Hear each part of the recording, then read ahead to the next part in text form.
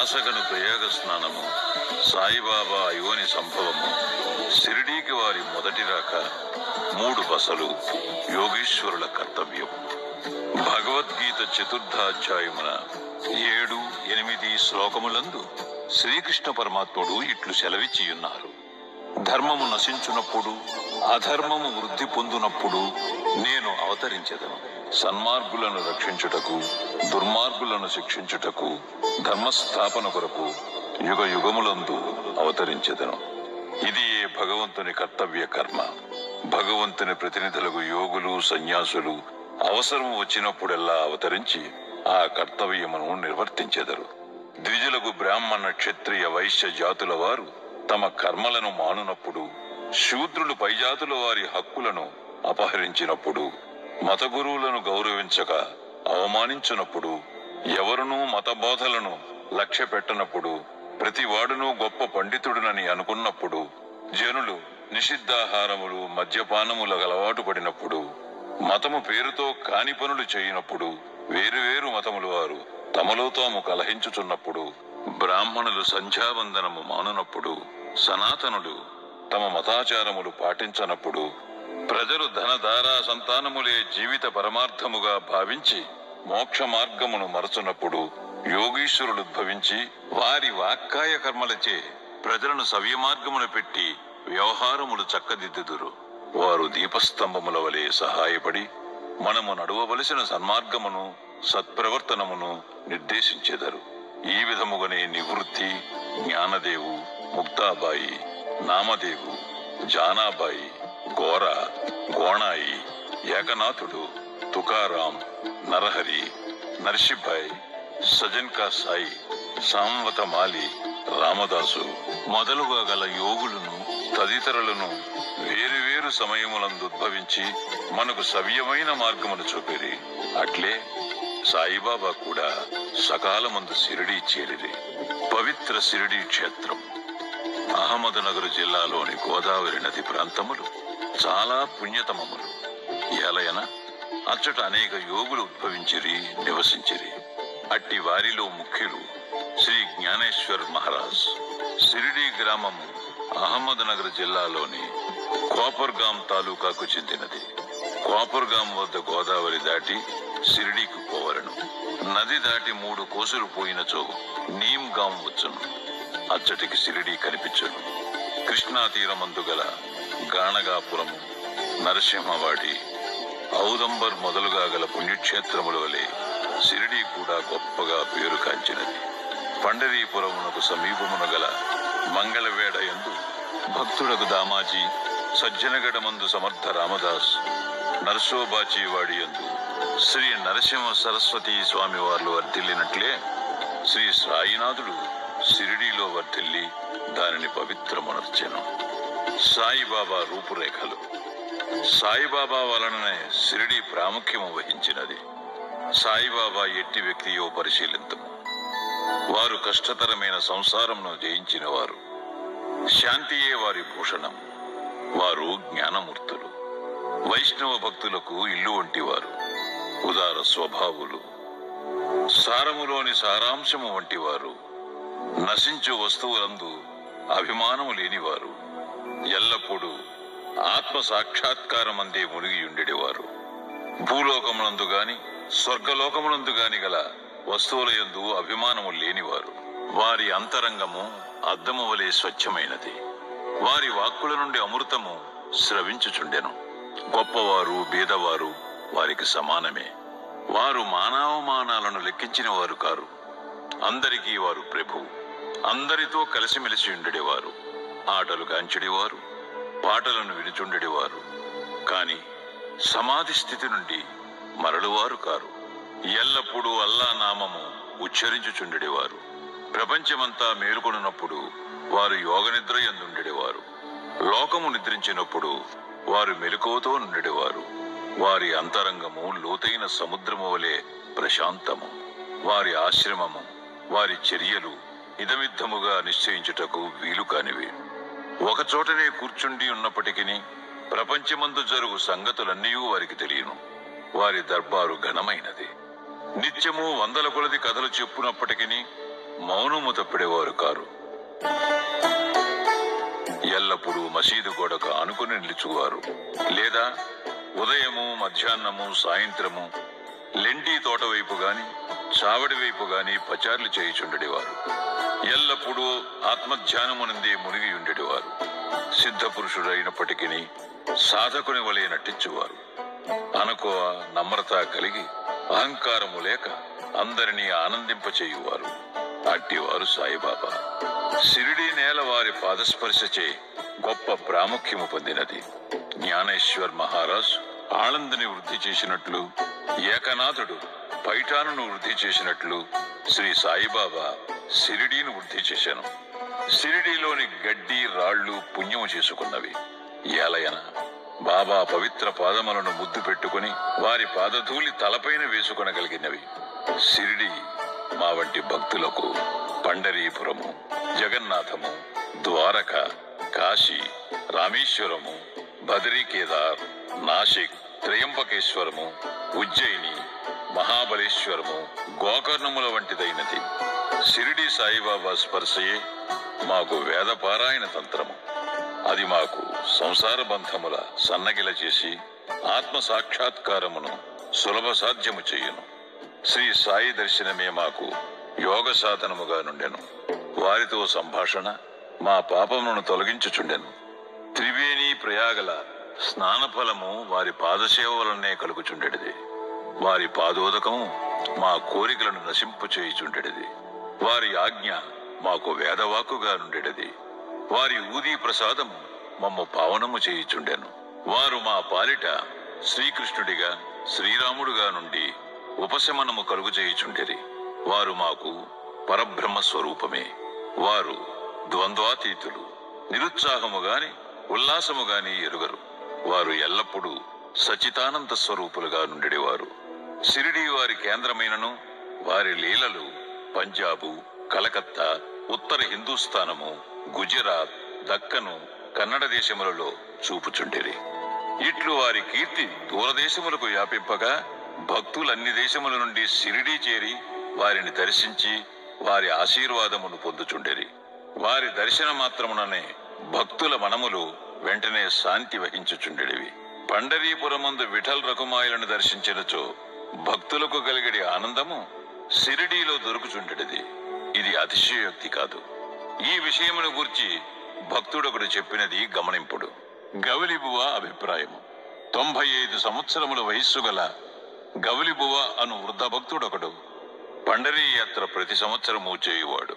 ఎనిమిది మాసములు పండరీపురమందు మిగతా నాలుగు మాసములు ఆషాఢము మొదలు కార్తీకము వరకు గంగానది ఒడ్డునను ఉండేవాడు సామాను మోయుటకు ఒక గాడిదను తోడుగా ఒక శిష్యుని తీసుకుని పోవాడు ప్రతి సంవత్సరము పండరీ యాత్ర చేసుకుని సిరిడి సాయిబాబా దర్శనమునకై వచ్చేవాడు అతడు బాబాను మిగుల ప్రేమించువాడు. అతడు బాబా వైపు చూచుచూ ఇట్లనేవాడు వీరు పండరీనాథుని అవతారమే అనాథల కొరకు బీదల కొరకు వెలసిన కారుణ్యమూర్తి. గౌలిబువ విఠోబాదేవుని ముసలి భక్తుడు. పండరీ యాత్ర ఎన్నిసార్లు చేశాను. వీరు సాయిబాబా పండరీనాథుని అవతారమని నిర్ధారణ పరిచరి. విఠలదేవుడు దర్శనమిచ్చుట. సాయిబాబాకు భగవన్నామస్మరణ సంకీర్తన సంకీర్తనమందును మిక్కిలి ప్రీతి. వారెప్పుడు అల్లా మాలిక్ అనగా అల్లాయే యజమాని అని అనుచుండెడివారు. ఏడు రాత్రింబగళ్ళు భగవన్నామస్మరణ చేయించుచుండెడివారు. దీనినే నామ సప్తాహమందరు బాబా ఒకప్పుడు దాసగణు మహారాజును నామ సప్తాహము చేయమనిరి. సప్తాహము ముగినాడు విఠల్ దర్శనము కలుగునని వాగ్దానమిచ్చినచో నామ సప్తాహమును సరిపెదనని దాసగను జవాబిచ్చాను. బాబా తన గుండెపై చేయి వేసి తప్పనిసరిగా దర్శనమిచ్చును. కాని భక్తుడు భక్తి ప్రేమలతో ఉండవలను. డాకూర్నాథు యొక్క డాకూరు పట్టణము విఠలు యొక్క పండరీపురము శ్రీకృష్ణుని ద్వారకా పట్టణము ఇక్కడనే అనగా షిరిడీలోనే ఉన్నవి. ఎవరునూ ద్వారకకు పోవలసిన అవసరము లేదు. విఠలుడు ఇక్కడనే ఉన్నాడు. భక్తుడు భక్తి ప్రేమలతో కీర్తించునప్పుడు విఠలుడు ఇక్కడనే అవతరించును అని అనెను. సప్తాహము ముగిసిన పిమ్మట విఠలుడి క్రింది విధముగా దర్శనమిచ్చాను. స్నానానంతరము కాకాసాహేబు దీక్షితు ధ్యానములో మునిగినప్పుడు విఠలుడు వారికి కనిపించాను కాకా మధ్యాహ్న హారతి కొరకు బాబా యొద్దకు పోగా తేట తెల్లముగా కాకాను బాబా ఇట్లడిగాను. విఠల్ పాటిల్ వచ్చినాడా? నీవు వానిని చూచితివా? వాడు మిక్కిలి పారుబోతు వానిని దృఢముగా పట్టుకును. ఏమాత్రము అజాగ్రత్తగా ఉన్నను తప్పించుకుని పారిపోవును. ఇది ఉదయము జరిగెను. మధ్యాహ్నము ఎవడో పటములను అమ్మువాడు ఇరవై ఐదు ముప్పై విఠోబా చిత్రపటములను అమ్మకమునకు తెచ్చాను. ఆ పటము సరిగా కాకాసాహేబు ధ్యానములో చూచిన దృశ్యముతో పోలియుండెను. దీనిని చూచి బాబా మాటలు జ్ఞాపకమునకు తెచ్చుకొని కాకాసాహేబు ఆశ్చర్యానందములలో మునిగెను. విఠోబా పటమునొకటి కొని పూజా మందిరములో నుంచుకునెను. భగవంతరావు క్షీరసాగరుని కథ. విఠల పూజ ఎందు బాబాకెంత ప్రీతియో భగవంతరావు క్షీరసాగరుని కథలో విశదీకరింపబడినది. భగవంతరావు తండ్రి విఠోబా భక్తుడు. పండరీపురమునకు నియమముగా యాత్ర చేయుచుండేవాడు ఇంటి వద్ద కూడా విఠోబా ప్రతిమ నుంచి దానిని పూజించువాడు.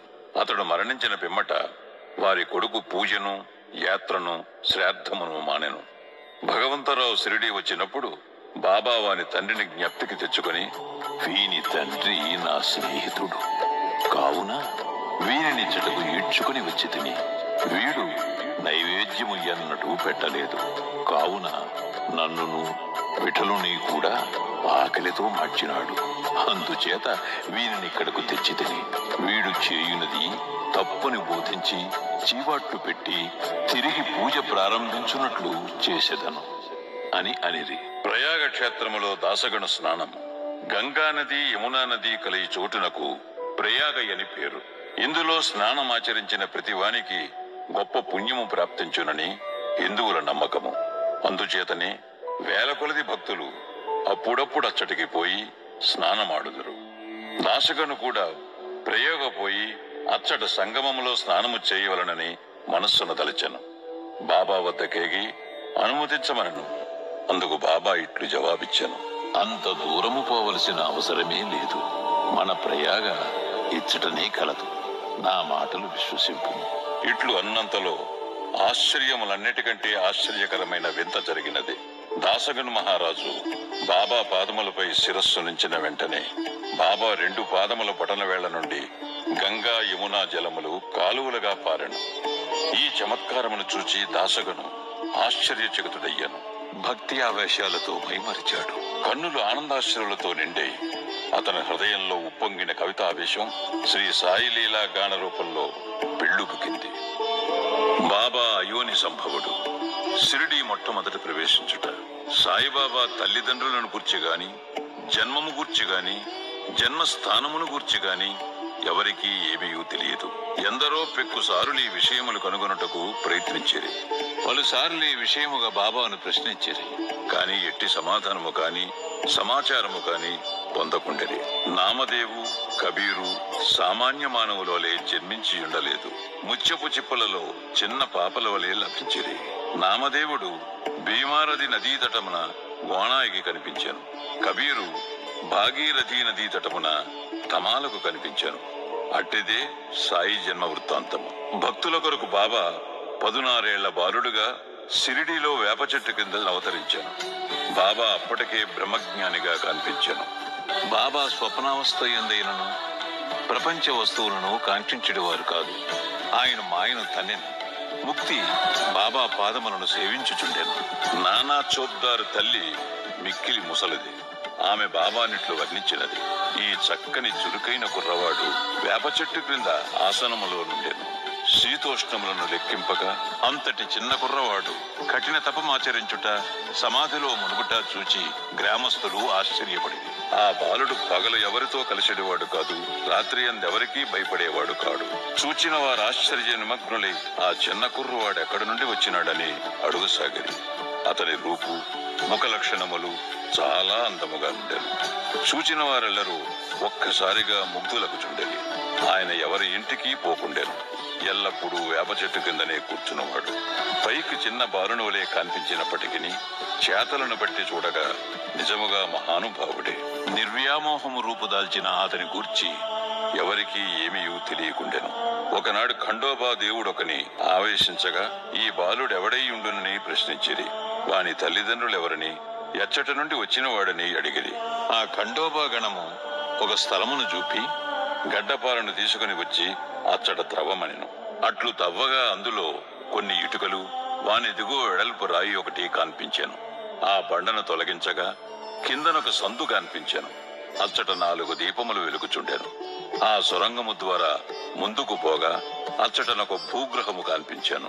అందులో గోముఖ నిర్మాణములు కర్రబల్లలు జపమాలలో కనిపించాను ఈ బాలుడచ్చట పన్నెండు సంవత్సరములు తపస్సును అభ్యసించనని కండోబా చెప్పాను. పిమ్మట కుర్రవాణిని ఈ విషయం ప్రశ్నించగా వారలను మరపించుచు అది తన గురుస్థానమనియు. వారి సమాధి అచ్చట కలదుగావున దానిని కాపాడవలెననియు చెప్పాను. వెంటనే దానిని ఎప్పటి వలె మూసివేసిరి. అశ్వత్థ ఔదంబర వృక్షముల వలె ఈ వేప చెట్టును పవిత్రముగా చూచుకొనుచు బాబా ప్రేమించువాడు. మహల్సాపతి తదితర షిరిడీలోని భక్తులు దీనిని బాబా యొక్క గురువు గారి సమాధి స్థానమని భావించి సాష్టాంగ నమస్కారములు చేసెదరు.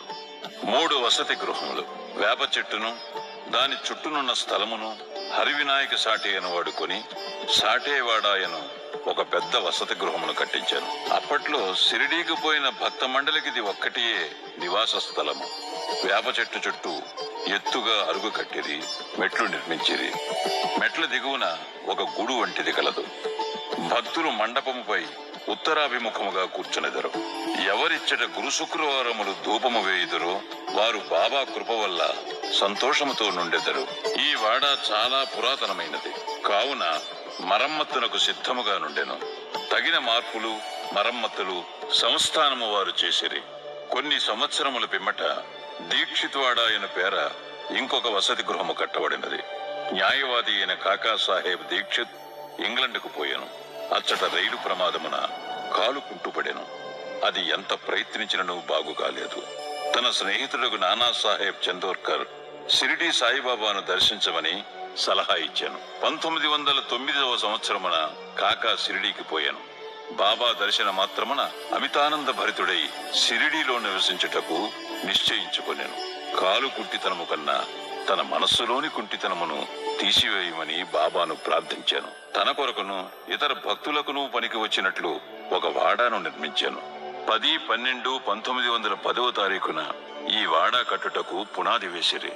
ఆనాడే రెండు ముఖ్యమైన సంఘటనలు జరిగాను. ఒకటి దాదాసాహెబ్ కాపర్డేకు తన ఇంటికి పోవుటకు బాబా సమ్మతి దొరికాను.